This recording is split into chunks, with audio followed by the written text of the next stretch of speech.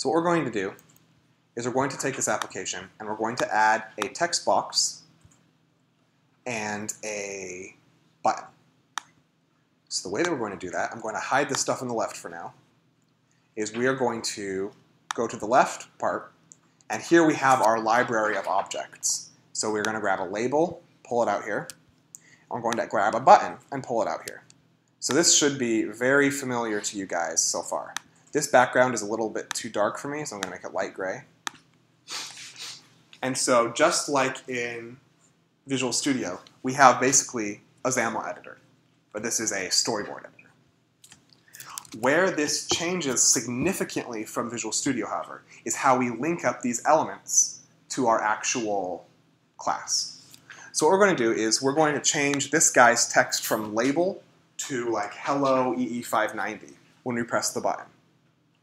So in order to do that, if we were coming from Visual Studio, we might double click on this and expect it to open up a function in our .m file. But that's not how it works. So let's take a look at our .h and .m files and get a feel for kind of the structure of an Objective-C program first. So here, I'm just going to zoom in like this real quick. We have this thing that says at symbol interface view controller colon UI view controller, then at symbol end. So already it looks nothing like C sharp code. If we take a look at the .m file, we have at symbol interface view controller, parentheses, and then at symbol end. Then we have this thing that says implementation view controller, which matches up with this at symbol end. And then we have these really weird things that kind of look like functions, but what on earth are these minus signs doing, and why is void in parentheses before it, and all that kind of stuff. And I've never seen brackets used like this, right? It looks really different. So here's what's going on here. First off, these are functions, and the minus in front of it actually means private. And if it's a plus, it means public. Makes a lot of sense, right? Sorry? I guess it means object function. Is that right? The, the minus? Yeah. So, Plus means class function. um, I guess so. actually, that might be right. You know what? I'll have to double check on that. That might be right. Yes, I think that, I think that's it. Yeah, yeah. So there's a difference between a static and a non-static function. Yes. Yeah. Yeah, that's right. Thank you. The implementation part is how we know that these functions belong to the object called view controller. So everything inside this implementation belongs to view controller. When we have these brackets, this is the way of, this is equivalent to saying super view did load in something like C++ or in C sharp, we would just have the dot. And super in this case means the object that's higher up us, our parent object in the object hierarchy. So, because we this view controller is a subclass of UI view controller, that of course means there's some baggage that we have to carry along with us. There are some functions that we have to implement or properties that we have to have. And those are these things called view did load and did receive memory warning. And so far, all we're doing inside these functions is we're calling supers view did load and supers did receive memory warning. So we're not really doing anything yet. Let's go ahead and change our application so that we can actually talk about those label and buttons that we added. So unlike Visual Studio where it will automatically add like uh, fields in our class, we have to manually hook everything up. By default, we can't touch anything in that storyboard file. The way we do that is we will assign, where we will create member uh, member variables in our uh, object. So we'll do that. we'll say like something like this, IB outlet, and then we will say UI label label. It might not actually be called UI label. Let me pull up my solution and make sure that I'm doing this right. It's IB outlet, oh right. We don't do that we do it like this.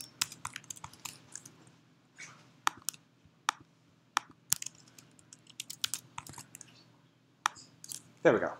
So this says we have a view controller that's subclassing UI view controller, and it has a variable called label that's a pointer to a UI label object, and then we put this IB outlet thing in front of it. And that IB outlet thing is an annotation that lets the compiler know, hey, this variable can be hooked up to something in Interface Builder. Everything has IB in front of it because, or outlet has IB in front of it because it's used in Interface Builder, which is what this storyboard editor thing is called. So now when we go to this iPhone storyboard and we open up this Explorer thing on the left, we can actually right click on View Controller, which is that class that we're modifying, and it brings up a list of everything that this view controller has that Interface Builder can touch. So here we have things like outlets, and one is called label. And I can literally just grab this thing and drag it onto the label, like that, and it makes a link. And so what that means is, now when I load up my program, and it's done loading, there, that label object that I have defined in my class will be pointing to the label object that's right here on the screen.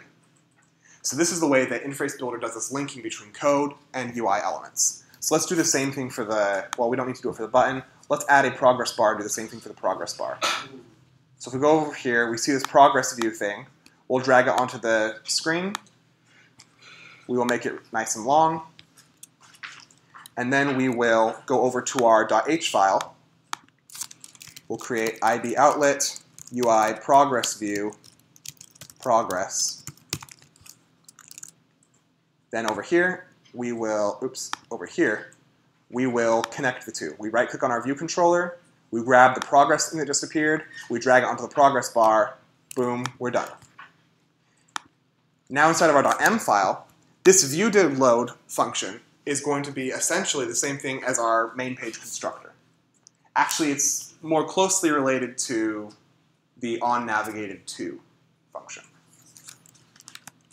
And inside here, we can say something like, we want to call something on the something close to like label set text blah, something like that.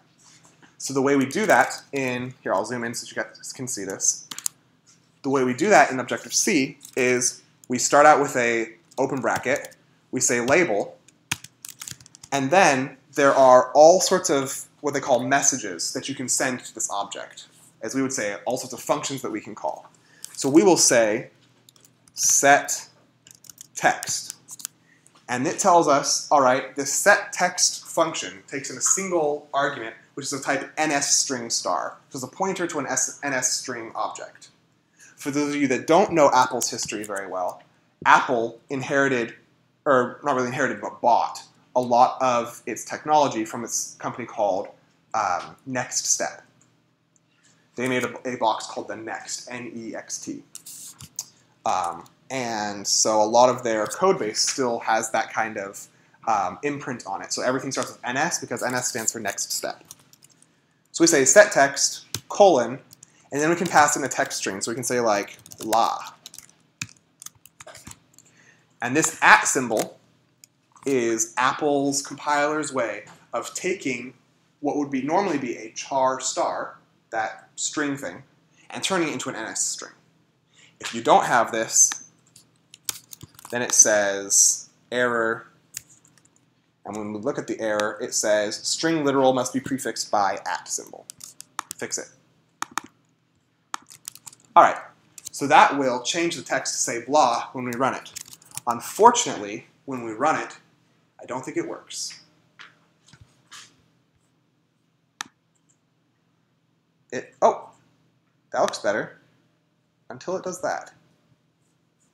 Maybe this needs to be sized so that we can scroll around and see. Aha!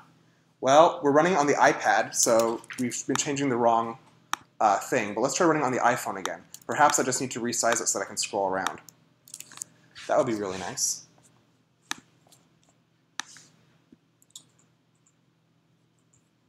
There we go. Thank you, Apple, for not making as bad as I thought it was. So, now it says blah, which is great. We've got a button, we can click it, and it does nothing. And I've got a progress bar that's stuck at the middle. Great progress. So the first thing we're going to do is we're going to add in some uh, functionality for the button. So the way we do that is first, of course, we're going to add in the function that's going to get called in our H file. This is where we do the minus IB outlet, or sorry, IB action thing. We give it a name. Xcode is really good about giving you uh, auto auto uh, suggestions, like better than my better than Visual Studio. That's one of the things I love about Xcode. We'll call it button was clicked,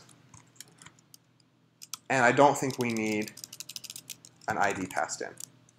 So, IB action button was clicked. This says it's a method function, so it's not a static function. It's like a normal function that belongs to an object, not a class. It's of type. It's got an IB action annotation, and it's called button was clicked. When we go into the .m file, we'll basically just copy these things that we see here, and we'll say IB action button was clicked. We won't have this ID sender business. And inside, we're just going to say ns log you clicked. Actually, we don't want to say that. We'll change the label again. We'll say the label set text to clicked. All right, pretty simple stuff. We run it, and nothing happens because we haven't told the interface builder which function to call yet. So we go into our iPhone storyboard, we right click on the button, and we have all these events that can be sent. The one that we're interested in is called touch up inside. That means that someone has touched and then brought their finger up while it's still inside of the button. So you can do anything from like touch up outside, which means they touched on the inside of the button, then moved their finger away, then brought it up, to you want to do it right when they touch down, etc., etc., etc. So we're going to take touch up inside, drag it onto the view controller, and then it brings up the list of things that can be called by that. So we click button was clicked, and now the two are linked. You can see it right here. It says, oh, touch up inside is connected to this view controller button was clicked thing. Now when we run it, you know what? Don't show this message again. When you click the button, it says click dot dot dot dot because this text label is not very wide. So we make it bigger, run again. One of the things I love about Xcode and all this stuff, it's very fast to build and deploy onto the emulator, which is very nice. All right, so that's great. Any questions about what we've done so far? All right, let's dig a little deeper. Let's go ahead and look at this view controller and try and add in accelerometer stuff. Now, I'm not going to try and type all this stuff from memory, so I'm just going to load up my solution. Now that we've got kind of an idea of what this stuff looks like, what we're going to do is we're going to have, just like we saw before, a UI label and a UI progress view called label and progress. And we're also going to create this thing called CM Motion Manager. So this guy is how you get accelerometer, gyroscope, compass, or not compass, accelerometer and gyroscope data from the iPhone, right? You are going to also have, you know what, we don't need this anymore. That was when I was experimenting. We're also going to have a button pressed function, just like we saw before. Um, this guy does not have an IB outlet thing because he doesn't get connected up inside Interface Builder. So that stuff just doesn't even apply. And we also have this thing called import up at the top. This is a lot like include, but for Objective-C instead of, instead of C++ or C Sharp. Inside viewcontroller.m, we have a lot of stuff that we didn't have before. We have something that looks like this, which is a little bit hard to parse at first. But once we get used to it, this kind of bracketing for calling functions that belong to objects becomes very natural.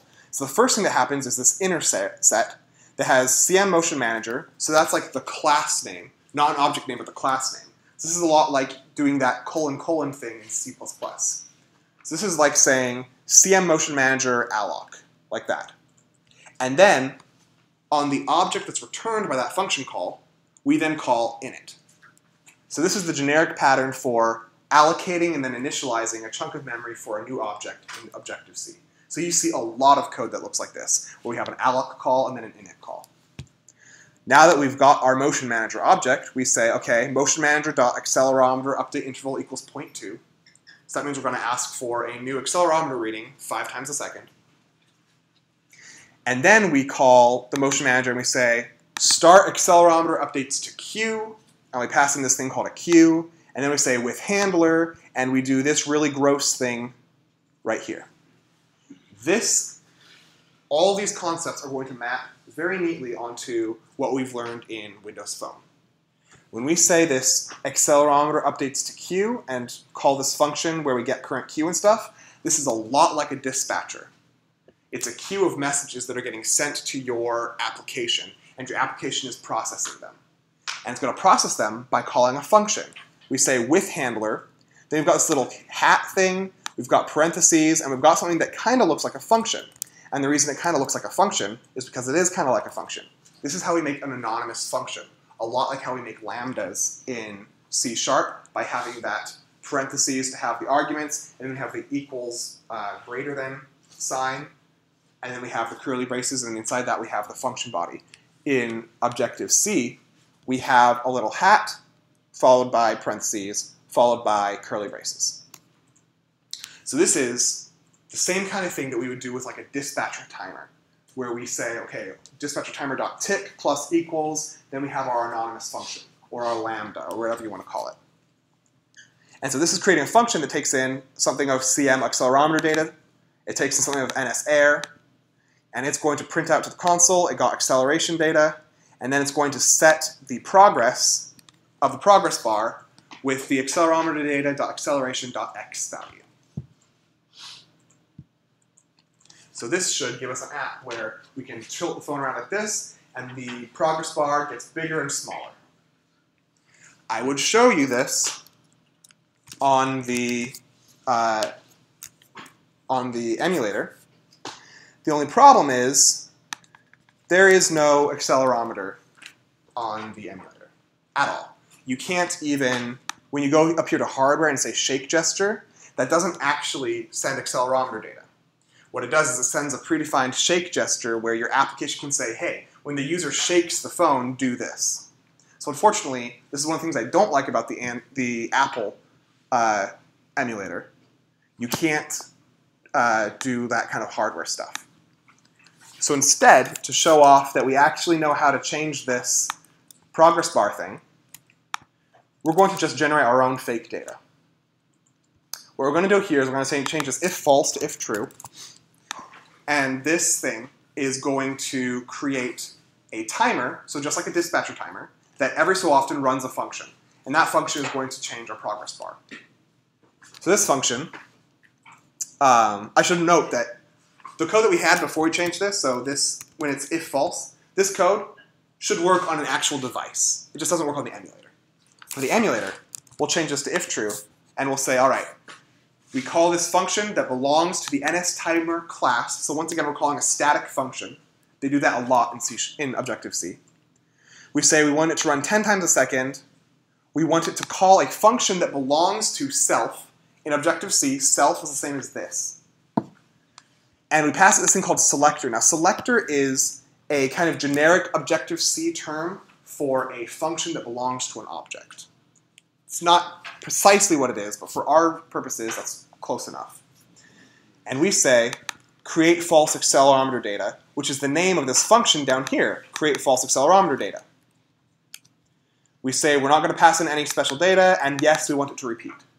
And so what this line of code does is it calls a function with all these different arguments and sets up a timer that will call this guy 10 times a second just like we would with a dispatcher timer.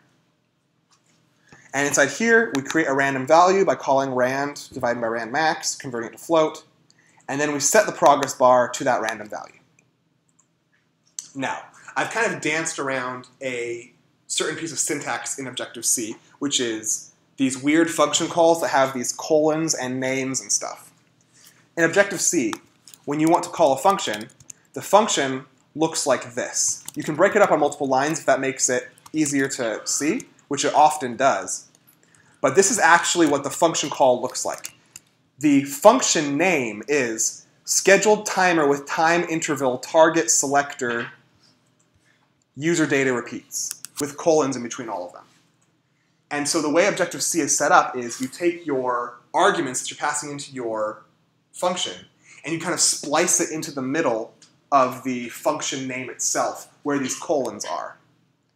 And they claim it makes it easier to read the code because rather than having a really, really long function name here and then all parameters here, you have the parameters right next to the parts of the name that they deal with. So the target that you're passing in is self. The selector that you're passing in is create false accelerometer data. The user info that you're passing in is nil, which in this case is a lot like null, et cetera, et cetera, et cetera. Kind of a subjective thing, but that's how it works. So if we set this back equal to true instead of capital Z, if we run this, we see our progress bar going crazy. And that's exactly what we want to see. Any questions about this iPhone stuff? That's kind of our first whirlwind tour of, and our only whirlwind tour of this application ecosystem. There is, of course, a lot to iPhone programming, just like there is in Windows Phone programming. And one of the really neat things about iPhone programming is that you may, so those of you who are really hardcore C programmers may recognize this function rand and this define rand max. You can actually just take C code and plop it in this file, and it will just work. Like we could, um, we could say float get random value, and then say float random value equals all this stuff, and then return random value, right? This is a C function. And that'll just work. And the reason that works is because Objective-C is actually a superset of C. And there's something called Objective-C++, which also works here, which is a superset of C++. And that means that you can take your C sharp libraries, or sorry, your C libraries, your C++ libraries, all that code that you've written, and put it into your C Objective-C code with basically no problems. So it's actually a little easier to do C and C++ programming on the iPhone than it is on Windows Phone because you don't have to deal with C++ CX, you don't have to deal with interop data types, because the two languages are actually completely compatible. There's no like uh, co uh, conversion you need to do going back and forth, which is pretty neat. All right, let's put that aside. And let's talk about Android. So, Android is a return to Java. So for those of you that took like CS 142, 143 here at the University of Washington, or most other uh, universities for that matter, you probably did it in Java. You probably had your first exposure to object-oriented programming and such in Java, and that is because Java is the object-oriented language. I mean, this, this language was designed to be object-oriented from the ground up, which is both a good thing and a little bit of an annoying thing if you don't like object-oriented programming. Um, a lot of functionality in Java is expressed through inheritance. So we're not going to go over this today, but for instance, in order to do the equivalent of a long list selector, rather than using something like data binding, you use inheritance to do it. You create a class that implements a whole bunch of different uh, a whole bunch of different interfaces that acts as the class that goes between your data models and the U and the UI and it does all the notification stuff by itself using the power of inheritance, which is just a different way of, of thinking about things. So when you use Android, you're going to be using a lot of, oh, I need to change this functionality. And when I say change this functionality, I mean like, I need to change what this button does, or I need to change what this view does. You just subclass it and change the behavior in the functions that you override. So, we're going to do what we just did on iOS, but for Android. So let's get it, go ahead and get started. So I'm going to open up this thing called Android Studio, which is not the only way to make Android apps. Um, Android in every sense of the word, is very flexible. And so what that means is I could write an Android app with Notepad if I really wanted to. Uh, there's nothing that this IDE does that you can't do by going and fiddling with files yourself. But that's really painful. So instead, what we're going to do is we're going to use this Android Studio, which is based off of like IdeaJ or something like that, which is a Java, um, a Java IDE, and is specifically geared by Google towards Android. So we'll call this one My Great App as well. Again, we have a package name. Instead of example, we'll use static float because why not? We won't put it into the sample code because we already have a solution there. So we'll just throw it onto my desktop again. And we'll say, at minimum, someone has to be running Android 2.2. That's pretty conservative. We could probably kick it up to 4.0 and still hit a large part of the market, but whatever. We wanted to create an activity for us. An activity in this case is the analog to main page. And next. Yes. So what's the vintage for using 2.2? I mean, aside from, I mean, sorry, what's the disadvantage from using two, you know, minimum 2.2 and then just using 2.1? So if you say minimum required SDK Android 2.2, that means the application that you build will be able to run on an Android 2.2 device. Yeah, but If you say this, that means it will only be able to run on a 4.0 device, but some things that are um, some things that the compiler can do to like optimize your your application, or maybe libraries that you don't want to have included that make your application larger than it should be, that kind of stuff, it will not be included because you're narrowing the range of things that you will support.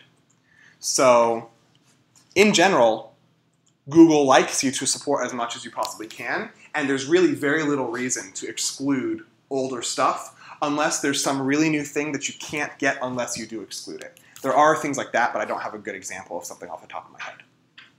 yeah, that's my question. Why would you want to do Yeah. So we will create a blank activity, and it's called main activity with the layout called activity main, and we hit finish, and it does its Gradle thing.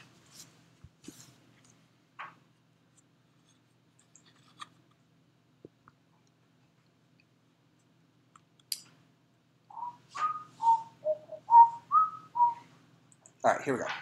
So we then have some Java code, which hopefully looks very familiar to you guys. If not, it's actually closer to C Sharp than Objective-C was. So we've got public class main activity extends action bar activity. Just like our main page extends like phone application page or something like that. We have an onCreate function, we have an onCreate options menu function, we have an onOptions item selected function that has helpful comments and everything to tell us what on earth it's doing. Over here on the left, we have an absolute plethora of files that have been created for us. The only ones we're really interested in are this main activity thing that's inside source main java com.staticfloat.mygreatapp.app, main activity. That one, and inside res, there's a, fun- there's a a place called layout, and inside that is activity main.xml. If we open that up, then we get a GUI uh, editor that will really remind us of the Windows Phone XAML editor. And in fact, the code behind this is in XML, which isn't XAML, but it's pretty darn close. It will look uh, very similar. So there is a way to look at the code rather than the GUI, but let's just not bother with that because we're not going to do anything that complicated today anyway. So, as usual, the first thing we do is we add a text box, which it actually already starts us with, and we're going to add a button. So we'll add a button right there. Drag it down a little bit. New button. Here we go. This, so again, this Android OS is not going to automatically create variables in our function in our uh, main page app for us that are named like buttons so we can just access them. We're going to have to do some explicit linking. Unlike Xcode, we're not going to do that with some fancy like drag a line from here to here stuff. We're going to do it the good old fashioned way with we define a name here and then we get a name over there. So the kind of thing we're going to do is we're going to grab this text box and we're going to go down to something called ID. And it already has a value. It says at symbol plus ID slash text view. That is a unique identifier that will allow us to get at the object that represents that label in code. The way that we're going to do that is let's let's change the, the text in on create. We will say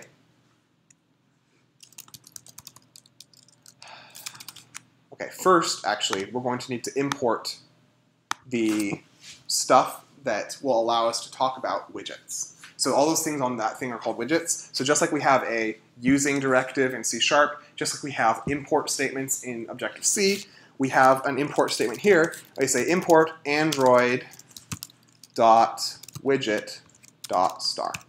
So we import all the widgets. Then down here, we can say,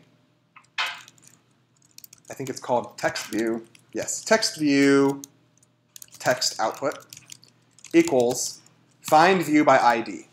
And then we have to pass in the ID of this guy. Luckily for us, we don't just pass in the string.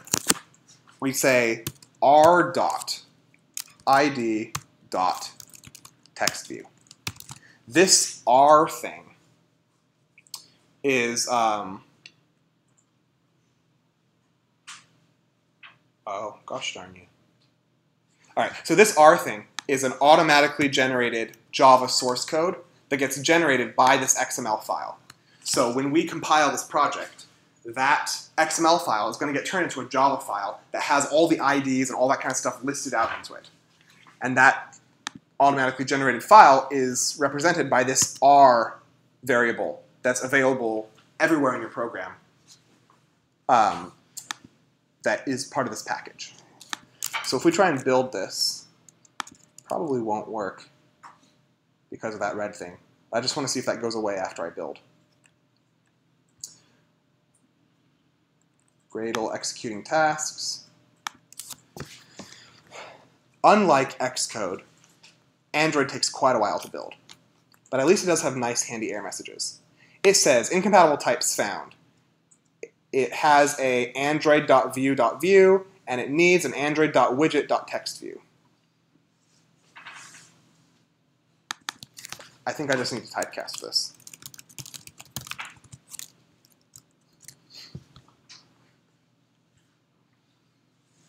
Yeah, that runs. All right, the next thing we want to do is we're going to want to take this text output and we're going to want to set the text, right? So let's see if there's a set text. There is, how convenient and we'll try and say set text to blah. Um, and we are going to launch this on the emulator because although I could deploy it onto my phone, you guys won't be able to see it. So let's deploy it onto this. So, one thing that should be said about the Android emulator. It does support running Android applications, but it is abominably slow. So this will take probably about a minute for it to boot up. Um, the reason for that is because it's doing hardcore emulation of the entire ARM processor and all that stuff. You can download x86, that means stuff that runs on your processor, so not ARM, but what we would consider a Win32 build that would run on the emulator. Um, you can download those, which will boot up much, much, much faster. The only difference is they execute slightly differently than they would on an ARM processor and not all the libraries that you use may be able to be run on an x86 version than an ARM version. And the ARM version is the default, so that's the reason we're using it right now. While it's doing its boot up dance, we're going to go over here and we're going to continue working for a little bit. So we've added a text view. The next thing we're going to do is we're going to add a button, which we have right here. And we now know that in order to actually talk about this button, we need to get its ID, so we'll get its ID, and it's already been auto-assigned an ID called button. We could change this if we wanted, but we don't really want to, so we're just not going to change it. So in order to get it, we say, all right, button, which belongs to android.widget, great. We'll call it button equals button. Find view by ID, r.id.button. Great. So, I have too many parentheses there. We now have the button object. We then want to say, all right, button, when you get clicked, I want you to do this. So we say button dot set on click listener. And let's see if I can get it to autocomplete for me. If I just click on it, will do it? Nope. New on click listener. There we go. So, all of a sudden it spits out like five lines of code. Here's what's going on here. I say button.setOnClickListener, and then inside it I say new view.onClickListener. So I'm constructing a whole new object. But this is like, just like C Sharp and Objective-C have anonymous functions, this is like an anonymous object. It's an object that has a type, view to on click listener, but it doesn't have a name, and we are actually overriding a function inside of that object. So this is where I say that Java is like crazy about inheritance. We're creating a function, or sorry, we're creating an object with that has a single function that's different from its parent object. And that's the entire reason we're creating it. And we're creating it so that we can pass it into this set on click listener function. And so this on click function is what that set on click listener function is going to look at when it wants to know what does this button need to do when it gets clicked. So inside here, we're going to say text output dot set text hello EE 590.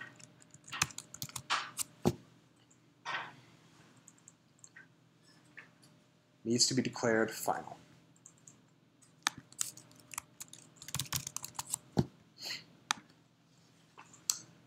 The reason I have to declare it final, that means I'm not going to change what object text output points to.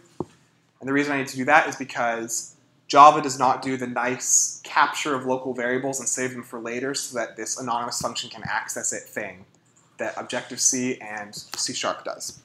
But that gets into really nitty-gritty C-Sharp or computer science stuff, so let's ignore it. So we have our little Android emulator over here. Unfortunately, we can't make calls for free, but oh well we are going to run our application and see if everything that I've told you guys is true. So it does its building thing, and eventually we'll launch the application over here.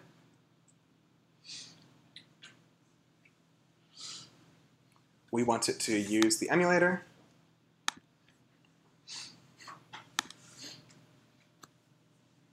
Um, quick question: Is Studio free? Is that open source or? Is Yep.